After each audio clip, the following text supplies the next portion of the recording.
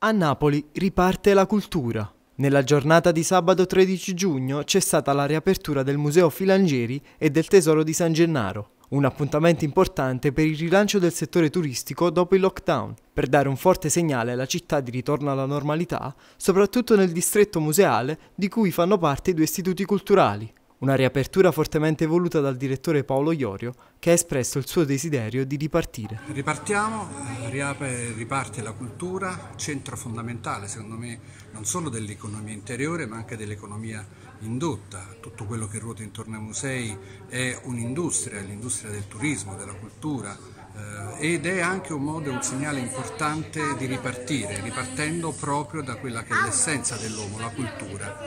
Ritengo che sia un momento importante dove non bisogna piangersi addosso, dove eh, il passato è passato, dove dobbiamo rimboccarci le maniche e eh, dare sostanza alla nostra ripartenza in tutti gli ambiti.